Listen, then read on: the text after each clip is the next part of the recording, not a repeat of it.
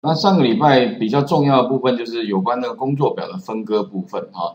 那所谓分割就是说我只取我要的那个部分，比如说呢某一个业务人员，那我希望呢能够呃输入某个业务人员，他能够自动帮我产生一个新的工作表，并且把他的资料自动就存在那个资料表里面啊。那当然呢这个部分的话有点像查询系统啊，就是比如说我今天希望哈把那个 Excel 当资料库来看。那这个资料库里面当然就一栏哦，栏位名称嘛，啊里面有资料。那当然第一栏通常是 key 了哈。那当然以这个这个工作表来看哦，假如说你把它当成是资料资料库的里面的资料表来看待的话，那基本上它就是 A 到 L 栏，就十二个栏位里面的话呢，分别当然就放这些东西了啊。那如果说我今天要针对呢，像业务人员去做查询的话，那首先当然我如果希望啊能够。就是做一个按钮，比如按下它做的话，筛选业务，筛，但未来可以延伸哦。我上个礼拜讲过，你如果做好一个之后的话，你可以把这一个筛选业务改成叫筛选的共共用的程序，那用呼叫它就 call 它，然后传两个那个引述给他，哈，比如说嗯那个什么呢，哪个名称，然后呢它第几栏，哈，那比如说我当然其他地方你也可以把它改成像实价登录或其他的查询系统。网络上有非常多的那个开放资料可以练习。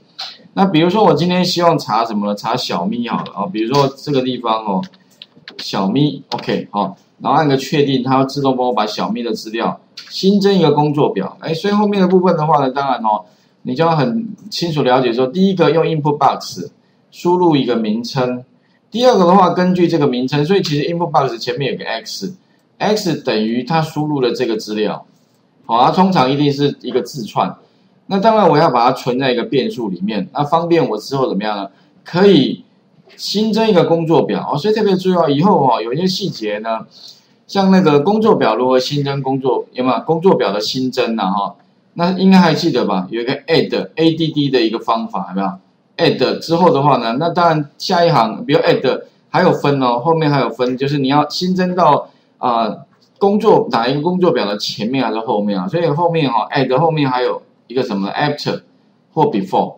好，其实你可以放新增到后面，也可以新增到前面。那哪一个你要告诉他？那我前面讲过，你可以跟他讲说，哎，这个工作表的最后一个了，我习惯就是放 sheet 点 com。我跟他讲说，哦，sheet 刮胡 sheet 点 com，然后帮我放到后面去啊，并且命名叫小咪啊，然后呢，用那个筛选啊，资料里面有个筛选。那帮我筛选出小咪的资料，并且把小咪的资料呢，就直接帮我复制贴过去，然后再切回来。哦，大家流程是这样，应该还有印象吧？那实际上这个整整串哦，你可以把它拿来当查询系统，以后输入之后就可以马上查出你要的。比如小咪按确定，哎，自动的话呢，它就帮我把小咪的结果放到这边来了。然，后后来我们还有把它改成什么？改成就比如说改成产业别，改成啊产品。客户名称等等的，OK，那就是把那个本来的筛选业务改成共用的 Sub 共用的程序哈。那这部分如果你假设不太有点忘忘了，我没关回去的话，再把影片稍微看一下，OK 哈。那再来的话，当然把那个同样的案例哈，把它用那个所谓的实价登录套一下了。我讲过了，开放资料一堆，你可以网络上捞一个，或者是你工作上需要做查询，你也可以把它套用看看。OK，那就可以做出我们要的所谓的查询系统。输入之后的话呢，自动产生一个结果放到这边来。那主要是利用所谓的那个筛选的这个功能。OK，筛选的功能哈。那当然呢，这个地方哈，主角是它了。OK，那如果今天的话，我们需要再再进再演变成另外一种，就是说，如果我今天希望哦，假设我的需求并不是说我要一个。一个一个的查询，哎或者是多一个哈。如果我不要一个个查询的话，那我希望呢能够批次。比如说我今天呢，第一个哈，假如说我今天希望针对业务业务人员，哈，里面假设有十个二十个，那我可以先怎么样？当然你可以啊，就是自己用程式的方式产生一个清单，就是移除重复，或者干脆你也可以怎么新增一个。这个呃工作表，那工作表名称的话，这个地方的话，也许这个工作名称叫清单了。这当然这这手动啊。不过假设你希望程式不要那么复杂的话，你可以先建一个清单，然后把业务好，或者产业别产品等等这几栏复制过来，然后把它放到 A one 这边把它贴上。贴上之后的话呢，做什么呢？利用那个资料里面的移除重复，好，把这个范围，当你不要扩大好了。比如说针对这一个，哎有标题，按个确定。那这样的话留下来就是不重复的资料，OK。但这个动作基本上哦，你也可以用程式去做啦，其实就两行程式而已啦。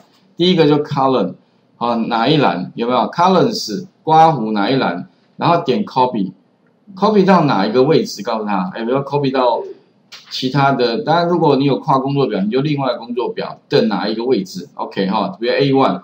然后后面的话呢，就是有一个叫什么哪一栏，这个 A 栏的那个点。Columns 一样，Columns 点它有个 remove 那个 duplicate 的一个方法，有没有？还记得吧？哈，然后呢就移除重复啦。当然我们现在先不要那么复杂，我们假设啦，先把清单先建立。比如说我今天呢先建一个清单，那并且呢针对这些哈做移除重复。那假如说我今天呢希望怎么样？希望针对这些项目啊，帮我快速的做一个批次的建立。所谓的批次建立，就说假设我业务有六个。那我就自动怎么样？假如有个批次筛选哈，批次筛选业务好了，那我按下它，它自动帮我把六个业务人员呢全部的资料都自动带过来，而不像上个礼拜，上个礼拜是什么呢？我输入一个，它就做一个，哦，这样的话很麻烦的。假如说你今天的需求是，我希望呢能够，诶，就是自动帮我根据清单里面的 A 栏或 B 栏或 C 栏，啊，当然未来你也可以针对什么客户名称也可以了。不过客户名称好像看起来好像相对的比较多一点哈，那艺术从哎，它是这个带过来，啊啊，完蛋了，这个哈有房贷有没有？上个礼拜讲过，你没有输入任何东西，它就一定不会通过。好，OK，啊，明白。那请各位先试着哦，把上个礼拜的东西先先重点回顾一下。那第二个的话呢，也许啊，就是先建一个清单好了啊，待会我们要针对。